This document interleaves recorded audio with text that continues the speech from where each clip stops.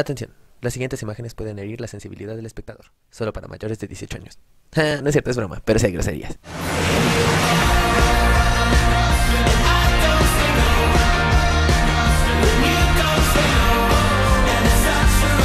¿Qué onda amigos? Bienvenidos a un nuevo video. El día de hoy les tengo un tema bastante importante para nuestra generación.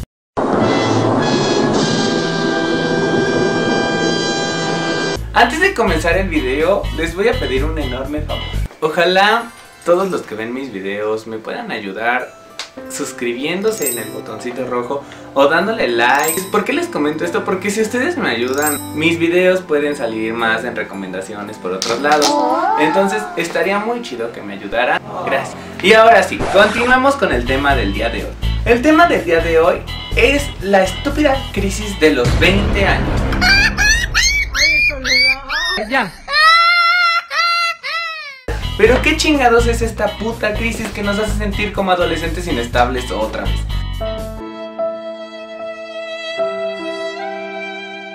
Si tú tienes 20 años o rodeas más o menos de edad, es probable que estés pasando por esto.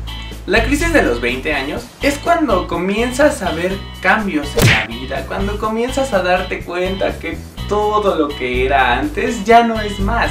Desde el trabajo, desde la escuela, desde los amigos, desde el amor, incluso tu estúpido cuerpo que se pone como marrano.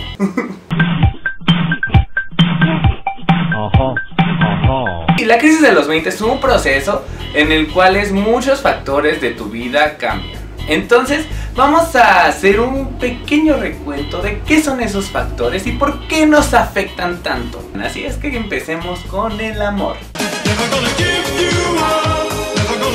En el amor hay personas que ya tienen parejas estables y hay personas que no tienen parejas estables. Esas personas que no tienen parejas estables y que están en la putería y se la pasan en el chupe y en la fiesta y en todo.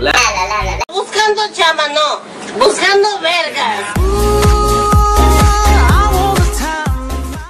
Llega un punto donde dicen, no mames, quisiera ya una pareja estable. Mientras que por otro lado la persona que tiene una pareja tiene que estar viendo ya como por el futuro y todo eso y le mortifican como algunos aspectos de que, oh, ya me tengo que casar, ya tengo que empezar a formar una familia porque mis amigos ya lo están haciendo.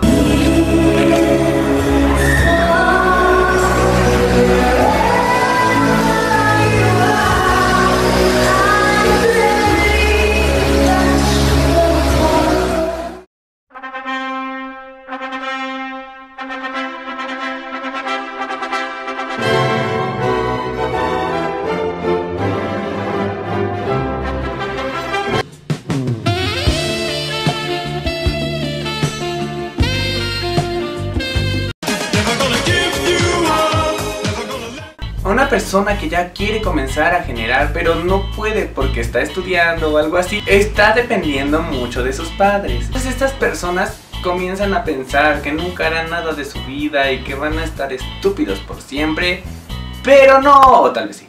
Pero no amigos, así entonces es cuando dices, oh, me voy a salir de mi casa a la verga. Yo me quiero de esta casa. ¿Por qué te quieres ir? Porque tú siempre me engañas. Pero ¿qué pasa cuando te sales de tu casa? Are you gonna miss your mom? No. No?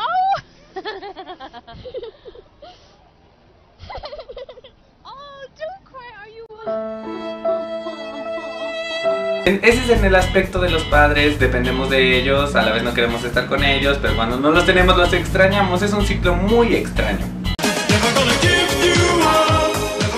El siguiente aspecto pienso que es el más normal y ese aspecto es el del el aislamiento. ¿A qué me refiero con esto?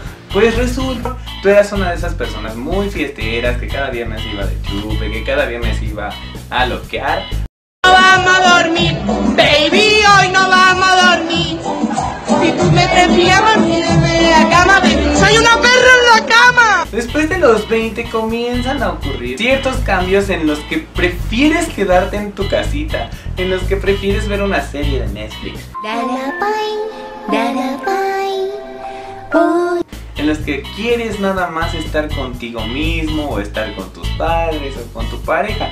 Entonces comienzas a aislarte de tus amigos y te empiezan a decir que eres un pendejo y que por qué ya no sales. Y bla, bla, bla, bla, bla. Es que son muchos factores los que causan aislamiento.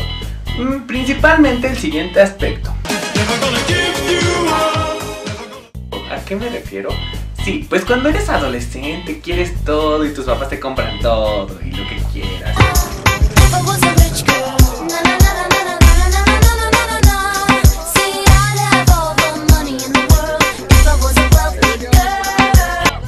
Pero cuando ya tienes 20 ya te da pinches pena pedirles para todo. Entonces ves cómo le haces de tu gasto, eh, algún trabajito que te sale.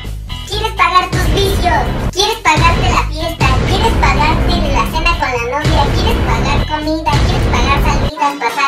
no. Pues no se puede. El dinero comienza como a faltar. Y empiezas a ser pobre de repente. Claro. Después de humillarme con una monedita, cree que me puede comprar con un cheque. Y comienzas a tener nostalgia de todo. Comienzas a preguntarte qué pasó con tu hermoso cuerpo escultural de 17 años. ¿Qué pasó con tus putos amigos que ya no están? Pero comienzas como a extrañar muchas cosas que antes eran. Extrañar cuando tu mamá te vestía como un bebé hermoso y te ponía a ver pinche Disney Channel. Ahora tienes que enfocarte en lo que va a ser tu futuro. Entonces es cuando llega la crisis de los 20. Lo, todo el mundo pasa por esto. De hecho, leí por ahí que nos vuelve a dar crisis a los 40, 50 años. Y entonces nos convertimos en señoras y empezamos a publicar imágenes de violín. La crisis nos ayuda a que podamos ver de qué estamos hechos. Es cuando valoramos más las cosas. Entonces, que nos dé nostalgia, pues está chido, porque así entiendes que los momentos pasan y no se nos tiene que pasar la vida de ahora en adelante. Pues no, güey, eres chingón, no estás haciendo las cosas que no deberías hacer, estás haciendo todo bien, estás en el camino correcto. Y que todo tiene su tiempo, que todo va a ir pasando y que tienes que irte a pinche suscribir a mi canal. Por favor, apóyenme con un like, con su suscripción y póngale clic a la pinche campanita de abajo. Y hasta luego, amigos. Nos vemos en el siguiente video. Bye.